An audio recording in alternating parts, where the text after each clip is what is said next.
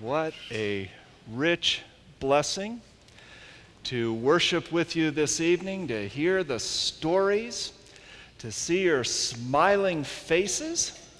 Uh, I just read a study where they discovered that people actually think of you as more intelligent than you really are if you just smile. Did you know that?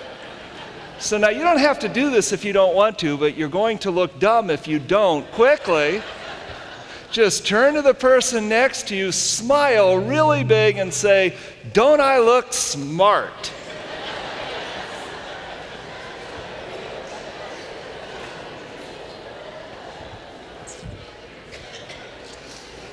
All right, you don't have to convince them how smart you are. Uh, question how would you like to work in a profession where it is your job to tell people how they ought to behave? All the while knowing you so often fail to live up to the very principles you preach. How would you like to have my job? where almost every week I stand in front of really nice people like you and I say things like, you should be kind and tender hearted to your spouse, knowing I'm not always kind or tender hearted toward my wife. She'll tell you that. Remember one time we were having this major fight, a disagreement. I got so angry, I took the cordless phone, I slammed it on the carpet, it bounced back up at the pinnacle of its ascent, it rang. so here we are screaming at each other, well, if you had done that, and if you had done that, and Pastor Haffner speaking. Inevitably, it's a church member wanting marriage counseling.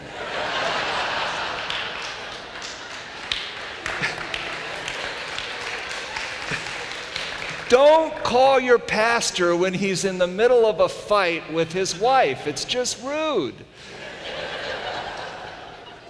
I confess so often I feel woefully inadequate to do this right here because I know the twisted motives, my dark side, the shadows in my own soul. I know I have no business telling people how they ought to behave because I fail so often. Ah, but tonight I stand here with a lot of confidence because I am going to teach you how to be a failure. And this is something I know a little bit about, isn't it, Sharon? Just this morning, I failed to show up to give the devotional to the pastors at the workers' meeting. I fail all the time. I'm really good at it. So I'm going to teach you how to be a spiritual failure, okay? Now, the principles flow out of an Old Testament story. It's really more like a love story. It begins with Jehoram approaching his father, who is the king of Judah, Jehoshaphat. Dad, he says, I am in love. Who are you in love with, son? Have you seen Athaliah? She is exquisite in her beauty. No, son, no. You cannot be in love with her. Well, why not, Dad? Well, you know why not. Because Athaliah is King Ahab's daughter. And if you were to marry her, then that would form an alliance between Judah and Israel, and you know that's not God's will. The story obviously takes place after God's people had divided into two nations. You had Judah and Israel. Day after day, Jehoram pesters his father, but dad, I got to get married to her. I love her. And finally, he gives his consent. It's not long after that he receives an invitation from King Ahab up in Israel Come, let us celebrate this newly formed alliance between our kingdoms. Alliance, Jehoshaphat says. I knew that it would come to this. But he goes anyway.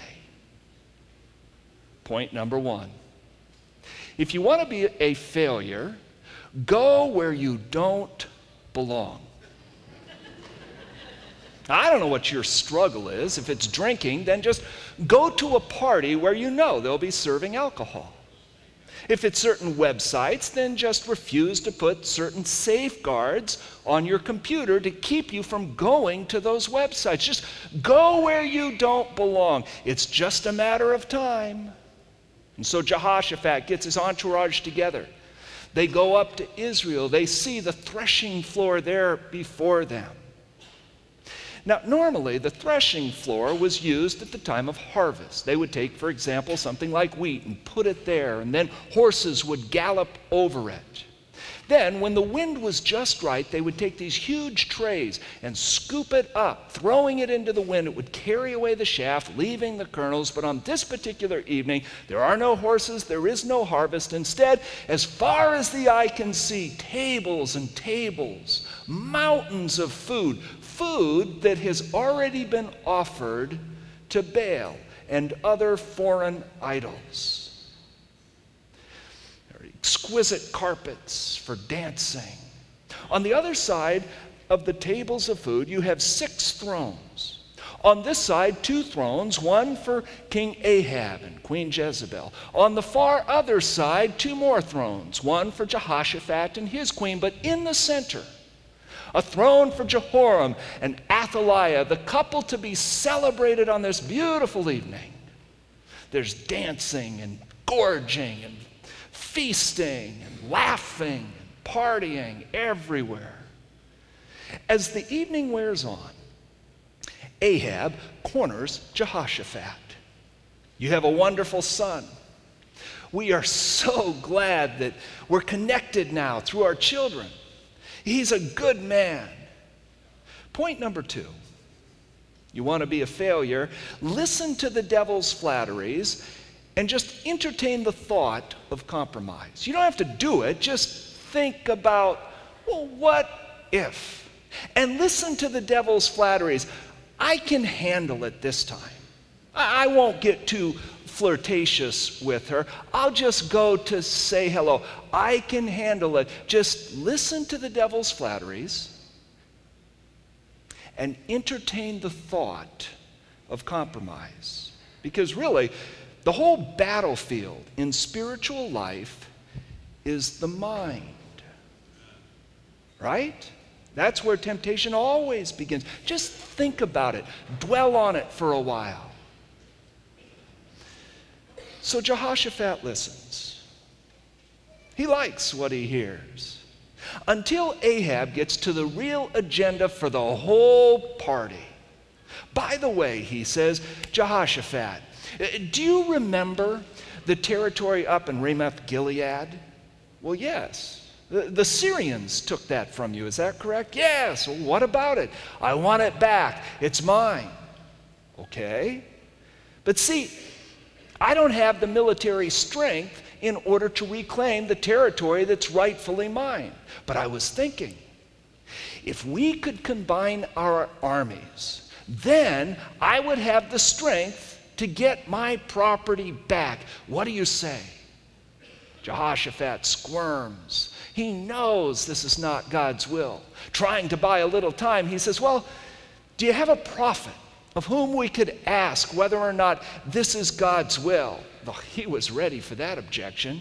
Ahab says, I not only have a prophet, I have 400 prophets. He calls the chief prophet forward, Zedekiah. Please seek the counsel of God whether or not it is his will that we should combine our armies and reclaim the territory that belongs to me. So Zedekiah calls all of these prophets together. They huddle there in the middle of the threshing floor. I can imagine in the huddle there is a conversation something like this. So, some rookie prophet says, What are we going to say to the king? Zedekiah barks, We're going to say exactly what he told us to say. Now, make it look like we're praying to God. Scripture tells us that Zedekiah and his prophets not only could prophesy in the name of Yahweh, but in the name of Baal as well. How convenient. Finally, it's this serious melodrama described in the Bible where Zedekiah gets this large ox head. He puts it on his head, protruding from it long iron horns. He then approaches the thrones. He starts dancing around, shouting and yelling. Go, he says and be victorious.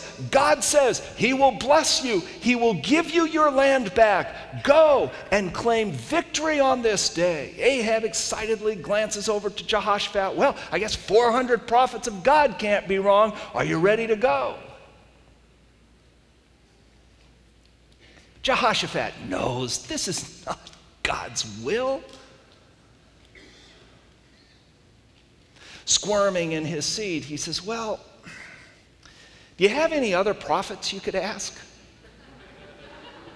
now it's Ahab who's squirming because he knows, well, he admits, yeah, th- there is one more. But the Bible says that Ahab says, but I really don't like the guy. well, why not? Well, he's always prophesying against me. That's the one I want to talk to. All right. He calls a servant to go fetch Micaiah, prophet of the living God. So the servant goes. He raps on the door of the prophet. Micaiah answers, and the servant explains The king would see you, sir. And this is what you are supposed to say to him. Micaiah stands tall in the Bible. He says, I will say to the king whatever God tells me to say. Oh, how this world is hungry for people who will not be bought or sold. For men and women who are unafraid, who will speak truth to power, who will obey wherever God leads Micaiah is one such prophet. He goes to the threshing floor. He sees before him Jehoshaphat. He is sick to his stomach. He knows all of this is a big charade. He sees the food that they have been feasting on, knowing it's already been offered to Baal. He sees the drinking and the dancing going on. And finally, he approaches King Ahab, who asks him, Is it God's will that we should combine our armies, and like a cat toying with a mouse just before the kill, he sarcastically answers, Yeah, sure, go ahead, send me a postcard from Ramoth Gilead. Let me know how that all works out for you. Sure, go ahead, and God says he will give you victory. Ahab is incensed it's like a scene out of a blockbuster Hollywood movie, an old movie, where Ahab points his bony finger in the nose of Micaiah and says, Don't mess with me. You tell me the truth. And Micaiah says, The truth? You can't handle the truth. Here's the truth.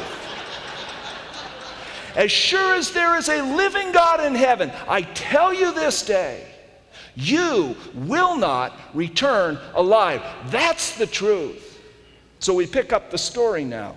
In Second Chronicles 18, verse 23, at that point, Zedekiah went up and slapped Micaiah in the face. Which way did the Spirit of the Lord go when he went from me to speak to you? He asked. Ahab is angry too. He demands that they take Micaiah, throw him in solitary confinement, and verse 26 Ahab says, Give him nothing but bread and water until I return safely. And I can just picture Ahab looking at Micaiah and saying, Mark my words, prophet, I will return safely. They haul off Micaiah. It's the last we hear of him in Scripture. After all of this, Ahab looks to Jehoshaphat and says, So what do you think?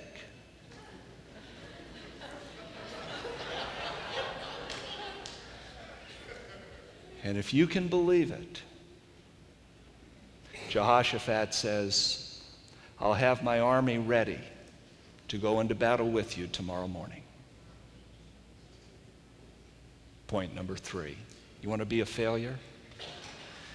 Go against the clearly revealed will of God.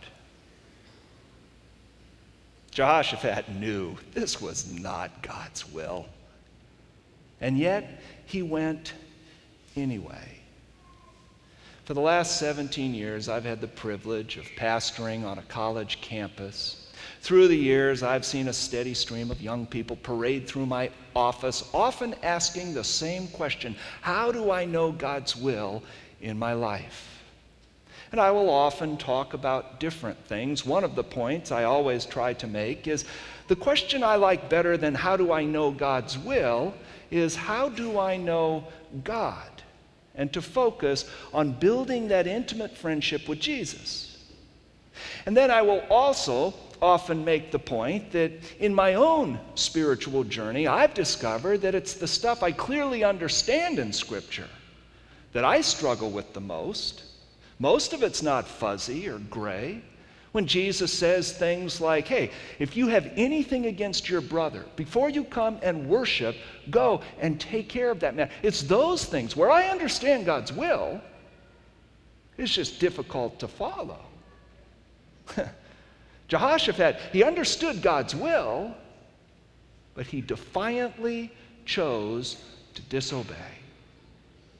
Next morning, when Jehoshaphat shows up, he is he is quite surprised to see Ahab. He wonders, What's up with, with your threads? Oh, yeah, I had this idea as I was going to bed last night. I was thinking, if I dressed like a peasant, then when the Syrians see us, they wouldn't recognize me. They will see you in the royal chariot, your regal gowns. You look beautiful, by the way, Jehoshaphat. They will come after you. We can surprise them and outflank them from the south, catch them off guard, and destroy them. Good battle plan, don't you think? Very well. See, what Jehoshaphat didn't realize, all of the Syrian soldiers had been given a direct order from the king. He was very specific. The king of Syria had ordered his chariot commanders do not fight with anyone, small or great, except the king of Israel, King Ahab. So the Syrian soldiers were poised, ready, given strict instructions if the Israelites attack us, ignore everybody on the battlefield, just go after the royal chariot. So they don't even get into a skirmish. The battle hasn't even started as Jehoshaphat comes rolling over the hill to take on all of these Syrian soldiers before anything happens. Just like that, he is surrounded by hundreds and thousands of Syrian soldiers, all of them arrows pointed right at his head. He has a 360 degree view of all of these arrows pointed right at him. It's like those old Southwest airline commercials. Need to get away?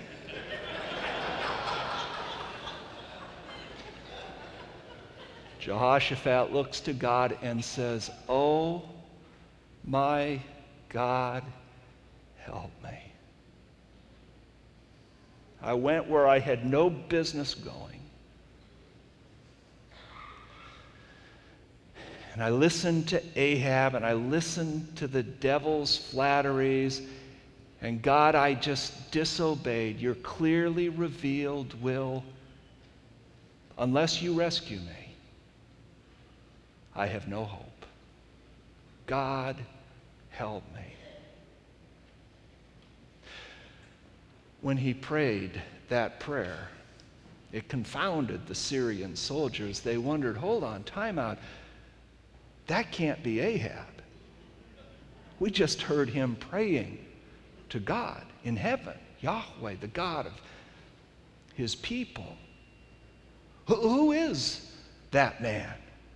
So scripture says in verse 33, at that moment, someone drew his bow at random and hit the king of Israel between the sections of his armor. So some soldier randomly fires an arrow, it sails high in the air, and wouldn't you know it, it lodges itself between the section of Ahab's armor. Ahab is sitting over here in the shadows. And that arrow finds his heart. They prop him up so that he has a front row seat to watch the battle in front of him that day. And it is a massacre. The Syrians slaughtered God's people, wiped them out. One of the worst defeats in the history of Scripture. It was an awful day for the Israelites. And at sunset that evening, King Ahab died just as the prophet Micaiah had foretold. Wow. what a story, huh? You have to wonder so, did Jehoshaphat learn his lesson?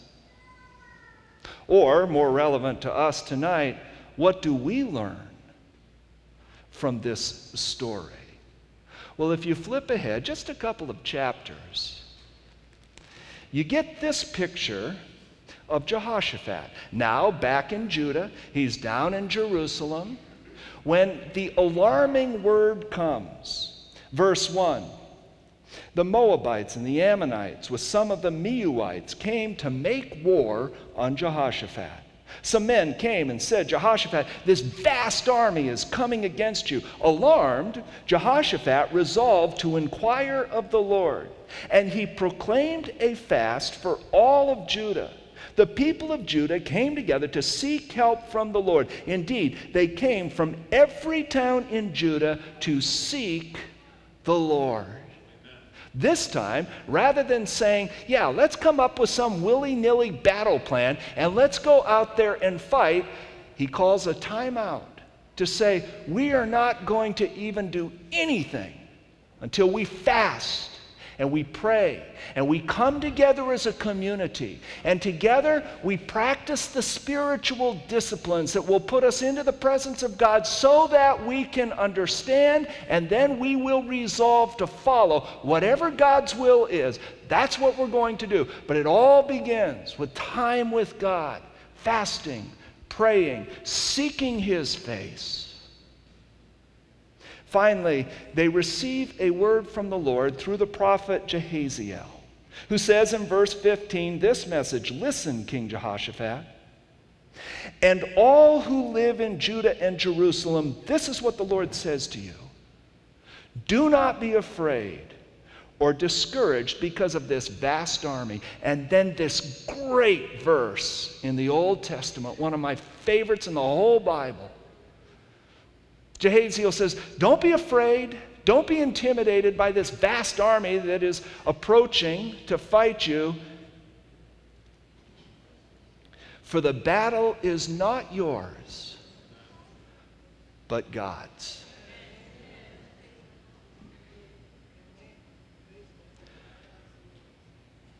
One of the most important spiritual principles I know. The battle is not yours. The battle belongs to the Lord. You let God fight those battles. That is God's work, the work of transformation, the work of overcoming temptation. The battle is not yours, the battle belongs to God. So they had the most interesting battle plan this time. They go to the battlefield practicing the spiritual disciplines of corporate worship. Together they sing, Give thanks to the Lord, for his love endures forever. They are fasting, they are praying, they are worshiping together. And when they get to the bluff overlooking the valley below where they are prepared to do battle, Lo and behold, God has already been there. He has turned the enemy onto itself.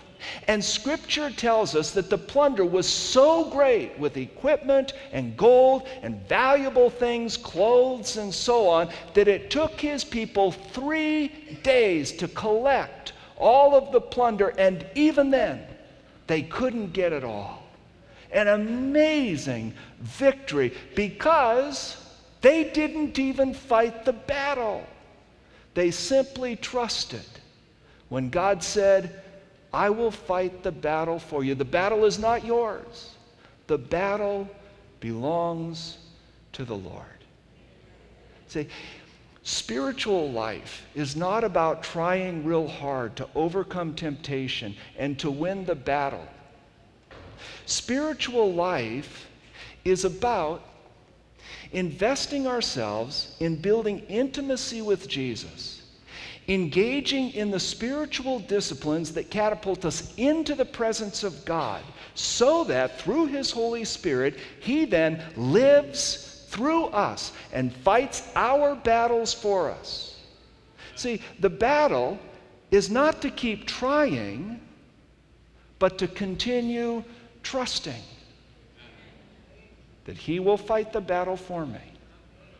What I will do is enter into a life of training through the spiritual disciplines. Now, we understand this principle in most every other arena of life. Take, for example, the physical arena. By way of hands, I'm curious how many of you could bench press 200 pounds right now?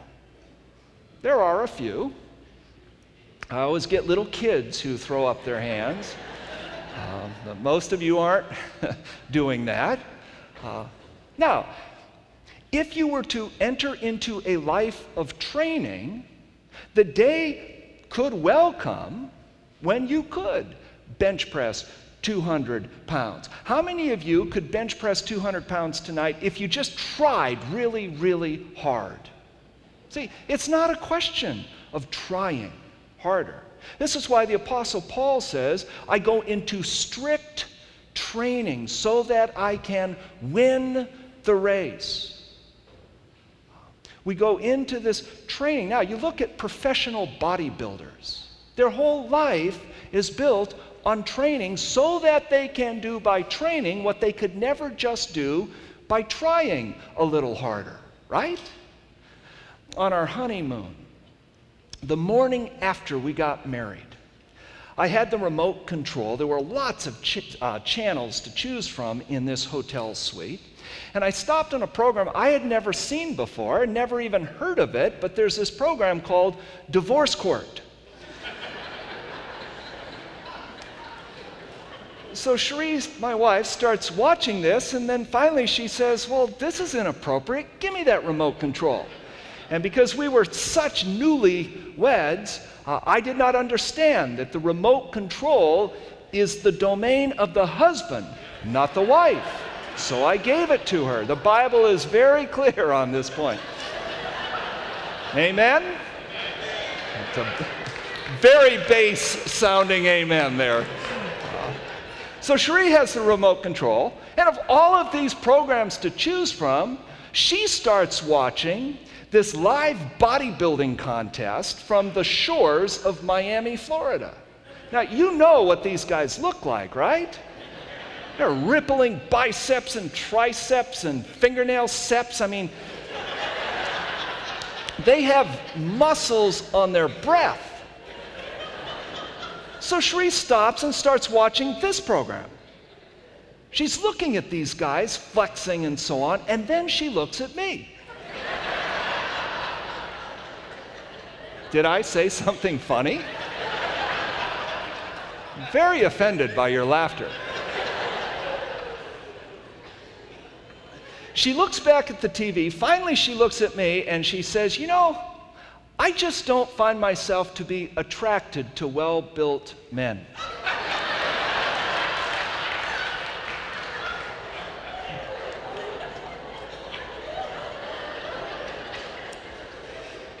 Not real sure what she meant by that.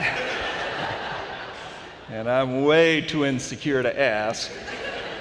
Well, those well built men that you see on TV, this is what Kent Maris, a professional bodybuilder, says about these guys. So those guys in the magazine that have that look, that look is what they do for a living. The maintenance of that look is what they base their entire lives upon. It's a lifestyle, it's 24 hours a day, seven days a week. We are such a now society. Guys come in thinking in three months that they can become ripped and hard, and that's very unrealistic. If you are serious about looking ripped and hard, you must enter into a life of training. That means you must arrange your life around those activities that will enable you to do by training what you cannot now do by trying. You talk to any mature follower of Christ who has this rich legacy of just being a sold out disciple of Jesus. You ask that person to share their story, and inevitably, they will talk about a life of living in the presence of God through Bible study, through prayer, through fasting, through all of these spiritual disciplines. A life of training. Now, for many years, I preached this very message. It's not trying, and I still believe that. But it's about training, and I still think training's important, but I've come to the conclusion more recently in my own spiritual journey that that's not complete. That it's not just about training either. Ultimately, it's about trusting. That when God calls us righteous in Christ, we can trust Him. When God says, I will make you a new creation, we can trust Him. The battle is not in trying harder, the battle is to keep trusting that He will fight for us. In the words of Thomas Kelly, don't grit your teeth and clench your fists and say, I will, I will. Relax, take hands off. Submit yourself to God. Learn to live in the passive voice. I love that. It's my prayer almost every morning. God, today, just today, help me to live in the passive voice and to live moment by moment, perfectly surrendered, trusting you to fight the battle for me. So often we approach spiritual life like it's this difficult assignment, as if we're being asked to keep 100 beach balls submerged out in the Pacific Ocean at the same time. Now, if you're a really strong swimmer, you might be able to keep this one and that one and another one under the water and use your feet to keep a couple of more, but inevitably, it is a recipe for feeling defeated and exhausted every time. They just keep popping up. And so, a lot of times, our approach to spiritual life becomes this very difficult task because I know all of the faults and uh, sins inside me. And so I think if I can just work on external image management, if I can keep pride and gluttony and lust and all of these things at least under the surface so that you don't see them, then at least you will think of me as holy it is a recipe for feeling defeated and exhausted every time. When spirituality is just about image management and behaviorism, it's just so discouraging. We know this, don't we? We can never quite be good enough. So, what's the answer? Get out of the water and get into the boat with Jesus. Live in the presence of Jesus and trust Him to fight your battles for you. When my youngest daughter was going through that potty training stage, we set up a reward system with her that involved Skittles one Skittle for one thing and two for another, which is more information than you, you really need. Uh, suffice it to say, on one afternoon, she did not see me standing over in the corner of the kitchen.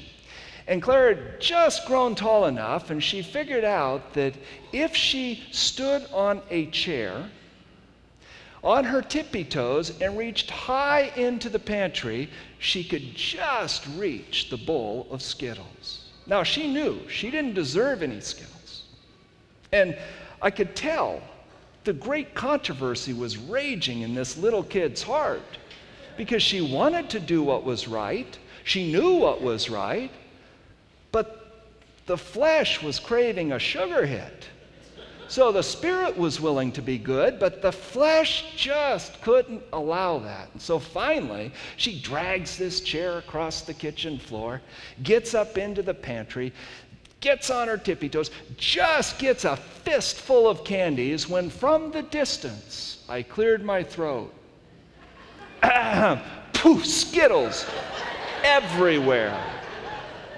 Then the little munchkin had the nerve to approach me with palms open. What, Daddy? What? I don't see anything wrong with that.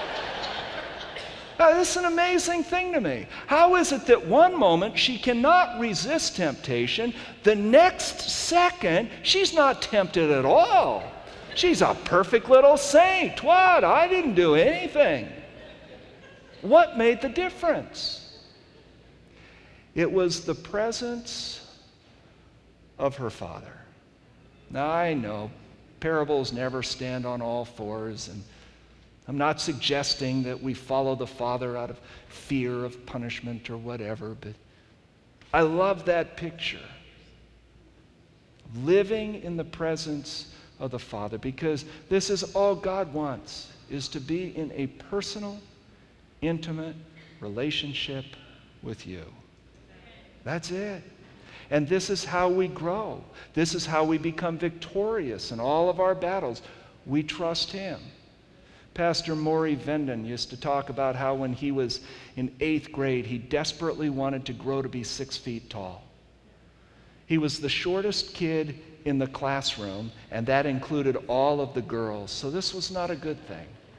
He decided that he was going to make himself grow. He went out to the clothesline and started hanging there. Of course, before he got out there, he measured himself carefully so that he could chart his progress. When he got exhausted from hanging there, he raced back into the house and measured his height again. Guess what? He didn't grow at all. Of course not. But we understand. You don't grow by trying hard to grow, right? You grow by eating. If he had spent the rest of his life hanging on a clothesline so that he never had time to come inside and eat, I think it would be safe to say he never would have reached six feet, only six feet under.